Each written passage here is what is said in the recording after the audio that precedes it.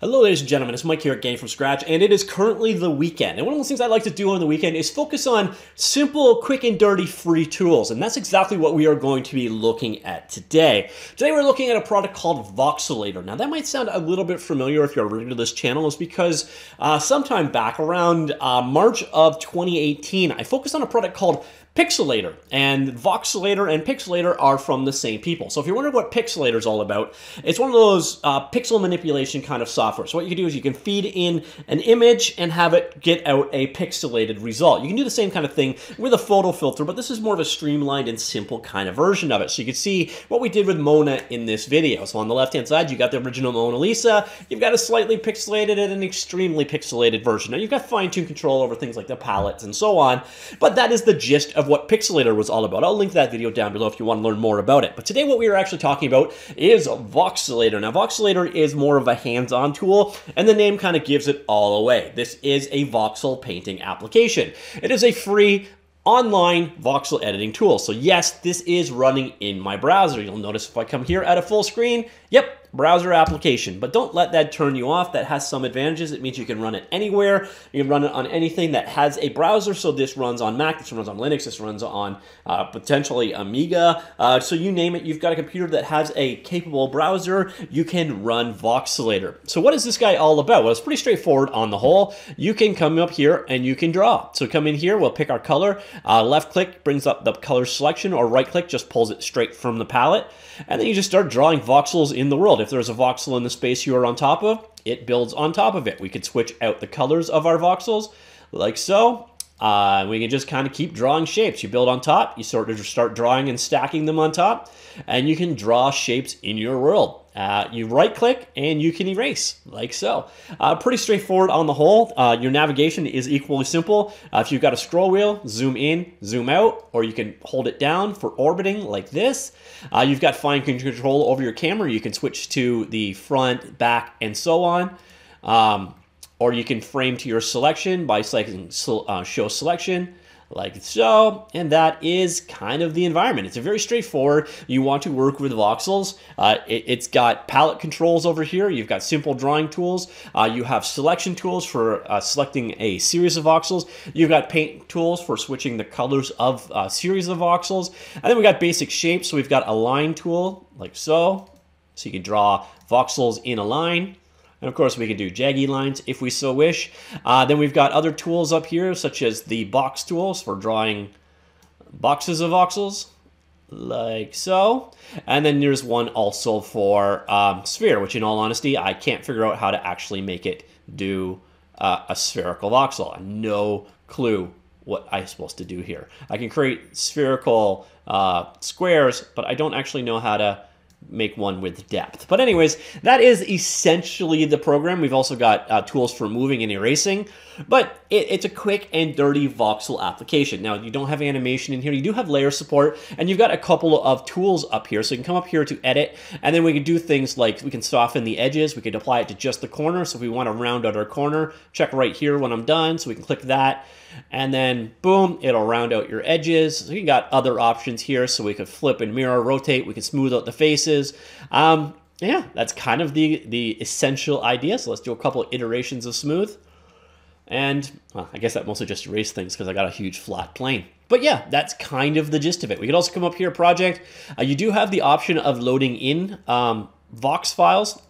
We can also bring in, uh, so there's some import options. And the weird thing that I found here is I can't actually get this to work. I can get the one to work. So I can come up here, we can pick an image to palette, and then we could just pick, um, we'll pick a simple image. So there's not a lot going on with this image, but you see what it did is it went through and grabbed all of the individual um, colors that it found in that image and created a color palette out of it. At the same time, we should also be able to do uh, an image to voxels. Um, so I come in here, I have no idea what image I'm just selecting here. We'll see in the, uh, apparently nothing. Here, let me try and find image to voxels.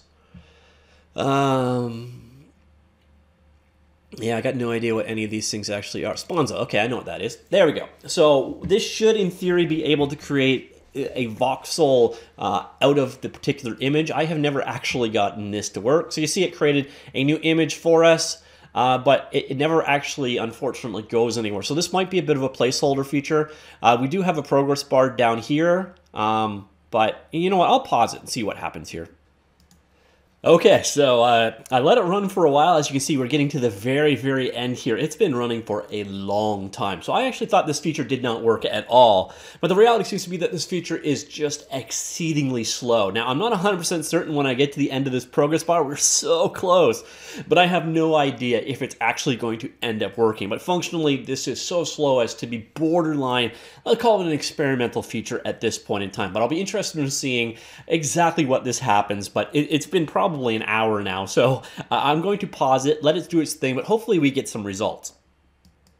You've got to be kidding me. All right, so after an hour, the progress bar got to the end, and then and then I got this bloody page. So yeah, that part I'm not impressed with by any means. I just wasted an hour of my life. So it does seem, at least on an advanced image, just don't bother with that import. Now, hopefully it's a feature or, or, or function that comes in the future and becomes much more usable right now. At least in my experience, it did not work great for me. But let's see what happens with you guys. If you try it out yourself, let me know in the comments down below.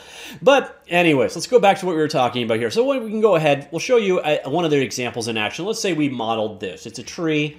Pretty straightforward, pretty clean, pretty simple. And once you've got your tree to work with, here, hold down shift, by the way, and do a, a pan. Come on.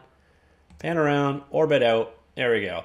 So once we've got something we've got to work with, what we've got is a number of options for what we can do with it. So I'm going to come up here, go to the export, and you'll see we have a couple different options, POY, GLTF, DAE or Collada format, OBJ or STL, or you can export out just the uh, palette, the, the color palette being used here uh, as a PNG file. But in this case, I'm going to go ahead, we'll export this out as a GLTF file. Um, sure, unnamed mesh, we'll dump out it with a texture, uh, so you can set culling as you wish, and we'll just go ahead and export that out. All right, so now we have something to go ahead and work with. Why did it export as a palette? Oh, yeah, sorry, multiple. So we got the texture, we got the GLTF file. All right, so now what I'm gonna do, fire up trusty old Blender, which is not installed. Okay, all right, a quick install later. Here I am with Blender. Let's get rid of the cube and let's import our generated GLTF file. Now what I found is the tessellation on these is a little less than ideal, uh, but the results are pretty good. So we're going to go here, GLTF. Uh, that was in my downloads folder right here. Let's open it up. And there we go. So there is our um, polygonal model. We'll let this switch over there with the texturing as we saw it in the one space. So there we go. Looks pretty good. So here we go, back over, flip back.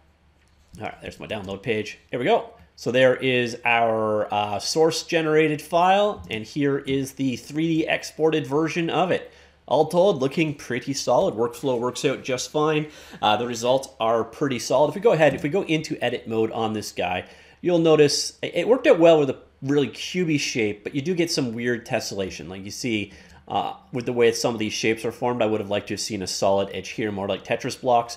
Uh, but you know what? Beggars can't be choosers. It's a pretty good mesh to work with. Um, you'll just find if you create less blocky shapes, you kind of get more of a triangle strip fan kind of result. But all told, results come out looking pretty solid. They look pretty much exactly like what went in, plus or minus the lighting differences, obviously. Uh, but yeah, so if, if you're looking for a voxel-based workflow and you want to work with something in the browser, the uh, Voxelator is definitely a way to go. We got, again, a couple of different um, options for exporting out. Uh, GLTF and OBJ are directly supported in pretty much most modern game engines, including uh, Unreal Unity and Godot. So it's one, one definite way to get things out of here as well. Also, you can save your project as a Vox file, and Vox, again, should be the standard format for Magica Voxel so getting your stuff from here into other Voxel applications should be no big deal. Now, interestingly enough, uh, when I do import Vox files into here, I have had some issues with it, but again, it's a tool under development,